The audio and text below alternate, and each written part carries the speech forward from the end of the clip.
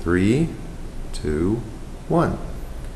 Hello, everyone. This is Pastor Dr. Derek Williams of Mount Calvary Baptist Church, Mansfield, Ohio.